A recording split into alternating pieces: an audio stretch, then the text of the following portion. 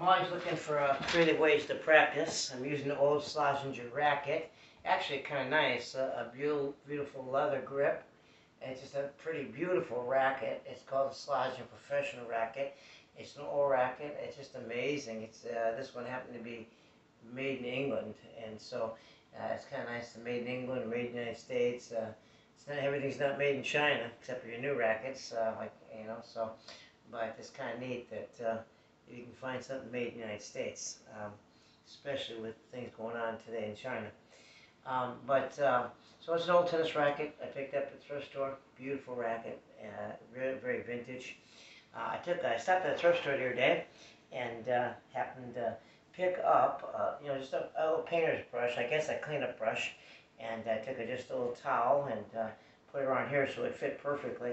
This is a, a, a baseball stand uh, that uh, someone discarded. A Franklin baseball stand and uh, part of one. And I just set that uh, painter's uh, that um, painter's brush inside here. So push it. I just push it down, and uh, there give a little force. Boy, that's a little tight there. Okay. And now what I'm going to do, I'm probably get that down a little bit more. There we go. So it won't move. Uh, had a little struggle on this one. There we go.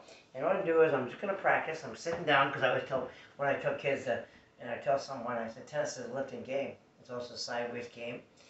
And, uh, and so uh, I like to practice sometimes just sitting down. And what I'm doing is I'm just going to practice. And I'm sitting on my couch right now in the living room. Uh, plenty of room, so I'm not going to destroy anything. Uh, kind of, uh, there, there's, uh, there's not a whole lot in our living room right here. A couple couches, and, and my wife keeps it real neat and clean, and I try to keep it that way. So when, before she gets home, everything's put away. Okay, I like to make sure she feels comfortable. So now what I'm doing is here, I'm in the living room on the couch, I'm going to practice, and all I'm doing, I turn the brush, I do it both ways. I can turn it this way like this, where I can just brush up like this, and I, and I practice brushing up, and you might have seen me use a broom, broom handle before, uh, but here I'm just using this brush that's here, and then I'm just practicing, and I'm brushing, okay? A lot of times it's just a just to practice a, a tennis motion. Sometimes I use a wheel, but uh, this just has a good feeling. And it's also kind of nice to do some different things, especially in the wintertime. Uh, like I said in a, a, video I just recently just uploaded, um, you don't have I don't have the opportunity to move down to Florida. Maybe I'll go play some tennis in Florida. I don't know. Maybe I get invitations some, from somebody sometime come down hit with them or practice with them. Like when I was young, I used to have that ability or opportunity. But uh, here I'm just practicing brushing, okay? And uh, and so it's just a great way of practicing. Practice, I can practice right-handed or I can practice left-handed. And if you heard many videos that I've talked, uh, made, just short ones, I've always encouraged both, both practicing forehand uh, and left-handed, uh, both right-handed and left-handed, in order to be uh, ambidextrous or in order to really strengthen your body because I feel if you use one side of the body too much, you're going to end up getting, uh, be more prone to have injuries. And so this way you strengthen both part of your bodies. Uh, I do that oftentimes at work. If I'm lifting, I lift right-handed, but I also notice a lot of times that I'm lifting with my left side of my body also. So using utilizing both sides of, of my body. So I'll practice left-handed, and then I'll also practice right-handed. I like to practice like a, holding the racket all the way down, it's long. I like to practice short.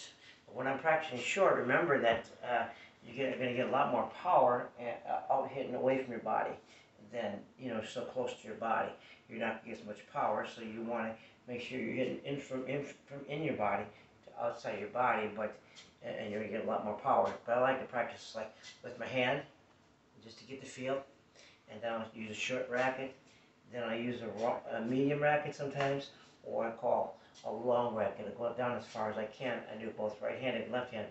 Then sometimes what I do is instead of just I use I choke up my racket. I use a you know I hit a forehand.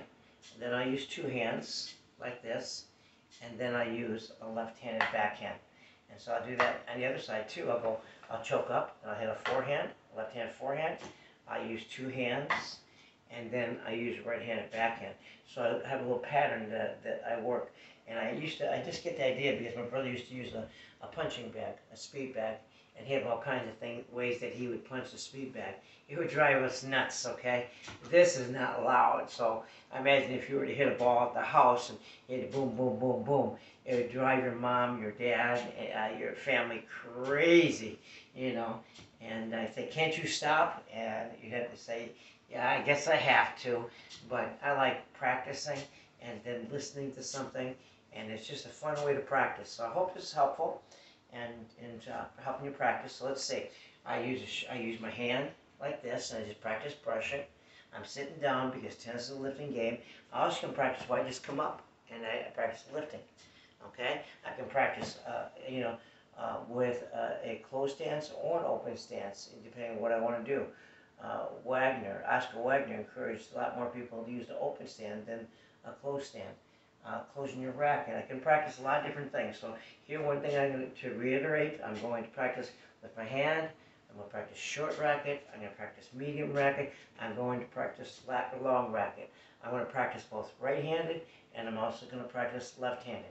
I will. What I'll do is I will practice in such a way that I practice. I choke up and I practice forehand like this.